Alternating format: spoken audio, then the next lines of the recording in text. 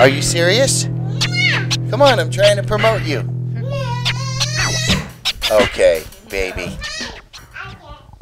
Hey, what's up, friends? It's JB Webb. I am back, and we are like right up against the end of this series, the JB Webb Show. But again, don't worry, we've already leaked it out there. We're going to continue on as a podcast, so no more AV stuff. But uh, anyway, this episode 99 is uh, incredible. I have admired this uh, artist's work for years now. She's uh, uh, Orlando fixture. She's really super talented. If you can look at the quality of work um, provided uh, to your eye receptacle through Johanna O'Donnell. It's incredible, and the series she creates, it's incredible. I mean, it's it's like she has her own little universe and world, and I love it.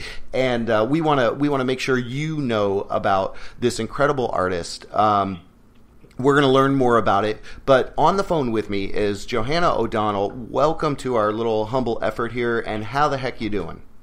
I'm doing good. How are you doing? I'm doing great. I'm doing great. Uh, I've had some wine past my lips, uh, so that always uh, that always seems to lubricate the good the good times. But um, your work is incredible. I don't know a whole lot about you, and I want to learn um, uh, more about you, and you know, ex parte. So will anyone who's watching this uh, interview. But you, you have such a beautiful, unique, glorious style. It's it's photorealism at its finest, and then you go, uh, you know, and you do this whole cat series with uh, three eyes, and you do these cult classic type of images. I just love your stuff. So w- w- uh, let me stop gushing all over here and uh, let's. Um, can you tell us a little bit about your kind of intro to art? When did you start doing art, and maybe kind of go, you know, calibrate back and, and set the track? Then when you first, you know, you start with drawings, or how did you first get into art, and what age? Oh, sure. Well, I come from an artistic family. My um, parents are both artistic, as um, is my aunt, and cool. so I was exposed to art at a really young age, and I was always encouraged to draw. So, okay. you know, anytime I'd have the TV on or just kind of, you know, killing time after school, I'd be drawing. So, okay. um, my dad would take us to museums, my mom too. Um, they would, you know, try to expose us to as much culture as possible. So it was always kind of encouraged, which was nice. I think, mm-hmm. you know, I had the benefit of that. I know a lot of artists don't. You know, parents can be kind of worried right. about, you know. Parents just don't understand. yeah, they can be kind of worried about, you know, their career choices um, with right, the, right. in the art. But um, yeah, so um, I started out with drawing, you know, just like markers and pencil on paper.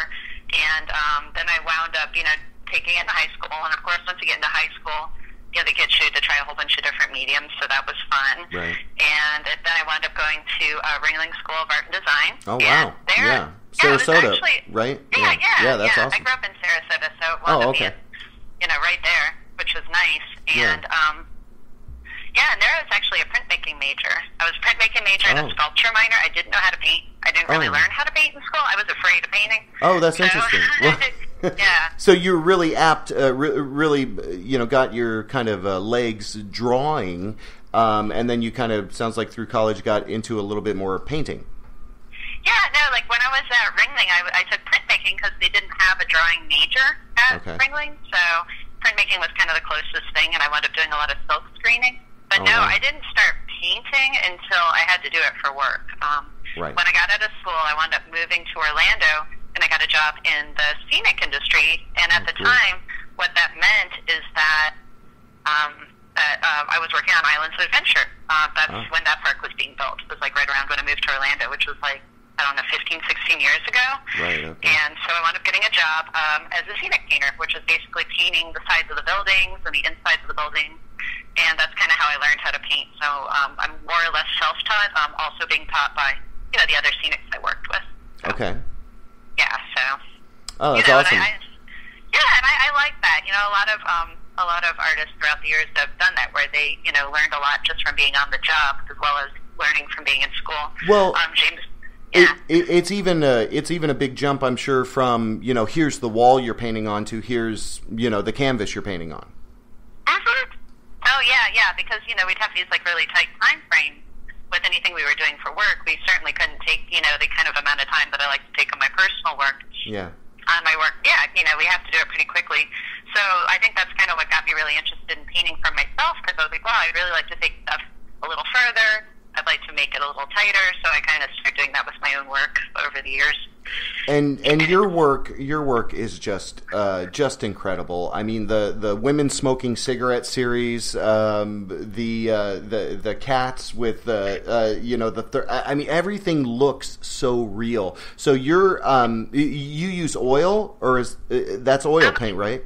Mm-mm, it's acrylic. It's acrylic. Um, oh wow! See, yeah, so through yeah. the okay. So But yeah, well, it just has acrylic. beautiful, beautiful gloss. Yeah, it has like this beautiful Yeah. gloss to it. it. And I mean, I just can't even tell you how iconic uh, your your paintings are. So how long do these things take you? Because you said you know you like to take your time, and so like how how long um, you know does the um, uh, you know the women smoking cigarettes type of series is that Oh, something you're still working on, or is that how long do those kind of paintings take you? Those things kind of just came up. I do a lot of pieces for um, Spoke Art and for Gauntlet Gallery. They're both in San Francisco, and they do like a lot of pulp culture related Mm-hmm. shows. And I always just wind up finding imagery that works for the shows. Um, and it happens to be that a lot of women in movies smoke. And it, Right. I don't know if it's still the case, um, but in movies up until like the 90s, like women Right. were smoking a lot in movies, maybe men too. Right. So I, and, and it, it was a nice way to frame out the composition. You know, maybe that's why they would have people doing that, just so that you know they had shots of people doing things while Right. talking. Right. Um, but also to clarify on the kind of paint I use, I use um, golden open acrylics, Okay. and they have a longer dry time than regular acrylics. So Okay, it's so- like an oil paint. Oh, I see. Oh, that's cool. Okay, okay. So it's a quasi oil paint kind of, but it's yeah, acrylic. Yeah, yeah. Okay. That's how you can get like the nice blending and stuff. You definitely it's a lot harder to get with regular acrylics. I, I found it really difficult when I switched to those paints. I got a lot Mm-hmm. better at doing more realistic skin tones, things like that. Yeah, you're. Um, I and I think it's. Um, uh, uh, boy, her name's uh, escaping me, but uh, Australian actress, uh, smoking cigarette Oh, kind. Nicole Kidman. Nicole Kidman. Yeah. Oh my God, that one is so incredible. Oh. I just the, it looks so real. I mean, I just love your your style. I love the way that you you you. So, how long do those kind of things take you? Does it take you months to do that? Uh, uh, you know, weeks. no. I mean, they're relatively small. Like that's a 12 by 12 inch panel, and my husband makes all my panels, so I don't paint on canvas. I paint on wood. He's Oh, cool. A carpenter. Oh, cool. Sculptor. Um, he makes my frames for me too. When so any of my pieces that have a fancy frame, um, those are his. Oh wow. And um, I know it's nice. Yeah. One of the many perks of being married to him. yeah. So um, I don't. I, I would say it's hard because I don't paint full time. I'm also a teacher, so it's not like I just sit down and like clock in eight hours a day Right. necessarily. But I would say between like um, ah, maybe. 20 and 40 hours, depending on the piece. Probably Okay. on those ones, probably around 20 to 30 on the Okay. smaller one. Okay. But sometimes they go really fast. That one I did of Debbie Harry, um, Yeah. she has that one really fast. It's nice when that happens. But yeah, it just depends. I've had paintings where I worked on a piece, So like a I- really big piece. I think I Oh, cut you off. Uh, I think I cut you off when you were kind of telling a little bit behind the inspiration for some of your pieces, whether it's the women smo- smoking cigarettes or the the, the cat kind of. Uh, uh, where do you kind of come up with these awesome ideas? Um, y- you know, is that just how your brain works, or or you say, hey, I, this needs to be cataloged? You know, uh, where do, where does that kind of um, I guess it's more ingenious that kind of ingenious Aw. branding of your own art where where does that come from Well, like I said, um, some of the shows that I do um, have kind of some kind of loose themes built into them, which is actually kind of helpful for me because Yeah. sometimes I'm at a loss, and so I kind of try to work around those themes in a way where it still looks like my stuff and kind of saying what I want to say. So um, I do a lot of paintings of Lil Bub, the internet Mhm, cat, mhm. and um, a lot of that work um, goes right to charity. They do a lot of charity art shows that Oh, raise wow. money for animal stuff. So a lot of my animal pieces are for charitable causes. Not all of them. I mean, if, you know, trying to make some money as an artist. Right, but, right. Yeah, but definitely, you know, some of that. For that. Um, as far as just ideas on the non-theme pieces, I just go with things that I like. Like I did the two pieces for Game of Thrones for a show in Right. town a few months ago, and I'm just totally obsessed with that show, and I've read all the books. yeah. So it, it's you know, I, I like to make art that is something that I'm into, but that also like connects with other people and what their interests are. And I'm a big fan of movies and TV. I watch like every movie, every TV show. You know, Oh, I love that, yeah. Pop culture obsessed person. And you know, when I'm painting, a lot of times it's nice to either have an audiobook in the background or some TV shows going. So. Oh, that's cool. Yeah, kind of that. Uh, I'm a big fan. Yeah, like a white noise. Uh, like when uh, I guess it was big in the '90s, right? Like uh, you would have the TV on, but like a radio station blasting full blast. I was like radio station. yeah. The '90s are probably the to blame for my ADD. Yeah, definitely. well, that's. Sure. That's awesome. So you, um, what kind of things with you know when it regards art, and we're we're speaking with Johanna uh, O'Donnell, uh, a great artist here, uh, headquartered in Orlando, Florida. Um, Johanna, when you um, when you think about art, are there things because you mentioned sculpting uh, and you're married to someone who's kind of has that sculpting background?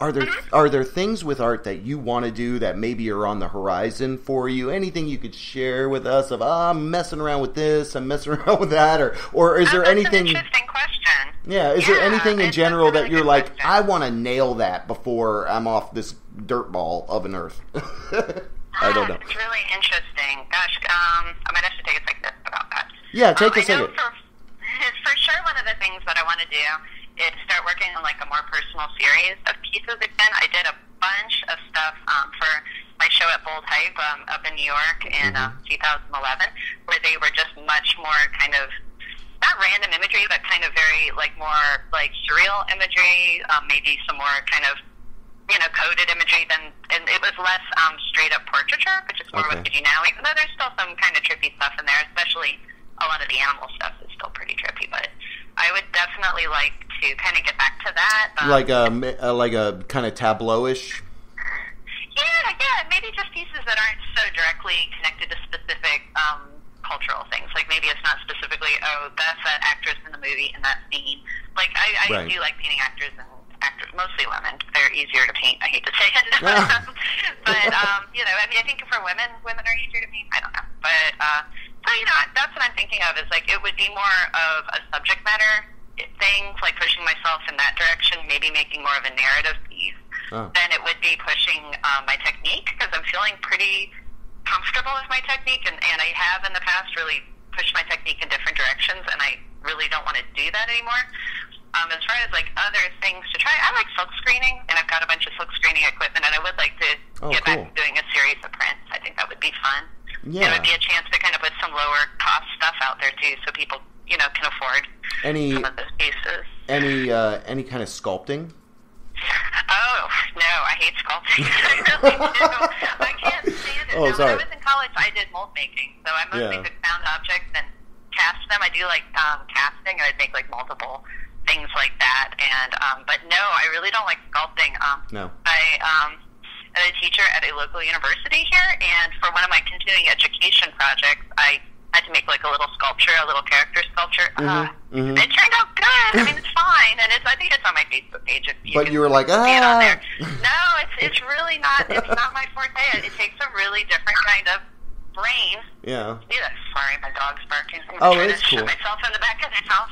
No, um, no, I, I, I appreciate the time uh, that that you, you're able to chat with us about this because um, I think a lot of the times, you know, what what we've always done with the show, and I, I love the visual component of of your work because it really makes for a great episode of what we do. you know, you have such incredible images, and and to really kind of hear and uh, hear more and learn more about your um, passion and, and, skill for the art, um, I, I, think is just uh, is just incredible. I mean, you're really you, you, are really someone that I, I see as continuing. You're not completely flowered yet. I think with with oh, with what I'd you like have to, to offer. Going in more directions. That would be great. So yeah. I appreciate that. Well, I yeah. Well, I think, and, and, again, it's not to say that you not you haven't accomplished anything because your work is so incredible. But I would, uh, you know, I, I I wanted to reach out to you and get this interview because I was like, she is just so determined to continue to make incredible things. Um, so I thank you for that. Um, oh yeah, thank you. This is this is awesome. Thank you for interviewing me. Oh my my pleasure, man. And and and that's what I kind of want to encourage. Uh, you know, people that are watching this, you know, go check out uh, Johanna O'Donnell. What's the best way for people to kind of get involved and get uh, connected with you? Whether they just want to go uh, peep at your work, or maybe they're like, hey, she could help us with a collaboration. Um, what's the best way for for people to do that? Oh, my um, the thing that I update the most is my Facebook um, fan page, which okay. is just you know, you look up Johanna O'Donnell. Um, I also have a website, but it's in transition. I think I'm going to transition over to Squarespace. Okay. So that I can actually have like a merchant account. Oh, um, cool. Which I don't yeah. Right now. Yeah, I thought that would, you know might be a, a good plan of attack for me. Yeah, yeah, because. Your your stuff is so iconic, um, and, and you use a lot of iconic, um, y- you know, figures and images, and like you were saying with your portrait work. Um, do you um, does your environment kind of here in Florida? Um, do you ever get impacted by uh, wildlife? I mean, you seem to care about animals and things like that because of the charity uh, aspect that you mentioned. Um, so, so does the Florida atmosphere lend anything to inspiration for you as an artist? That's a really good question. Um, I also volunteer um, at a local dog rescue, so I try Oh, to cool. do like local charitable stuff too, not just like like you know national stuff. A little closer to home, but it's it's super easy. I just help manage their social media and transport dogs once in a while. So that's fun. Yeah. And but as far as uh, how Florida influences my work, I think Florida really influences my colors. I think Your absolutely. colors. I mean, I'm, Oh, that's cool. I'm a native Floridian. I've always been here, but I feel like the light in Florida Yeah. and the way how colorful Florida is. Yeah, it Yeah. just it is. It's colorful and it's colorful all year long. I think if I lived up north, somewhere where it's like gray half the year, Right, I think you might- work look a lot different. and you still work with like That's a lot cool. of like artists from the Pacific Northwest or up north, and it, I think Right. it is different than um, Florida. I think we do tend to like really push your color scheme. If you look at Miami artists, especially, you get some like really awesome Yeah. you know, bright art. So I, I think that'd be the main thing. I, I kind of would love to like explore doing more like kind of Florida-based art, but I just don't want it to like fall into the pelican art category. Maybe when Right. I retire, that's kind of Right, what I do. yeah. I can start painting pelicans then. Yeah, But yeah. I, I do think it would be interesting to kind of integrate a little bit more of that into it and kind of represent Florida. I think we get kind of a bad rap down here, but Yeah, um, yeah. I think it's a beautiful state. Yeah, know. it's gorgeous. I, I like it here. I agree. I agree. Hey, um, so we'll we'll kind of wrap it up, but I wanted to ask you one more question. Have you, uh, given the given the uh, given the incredible quality of your work, have you been uh, in contact or through fan boards, images, uh, you know, Twitter, anything like that? Has any uh, have any of the the people that you've done these portraits of, uh, famous?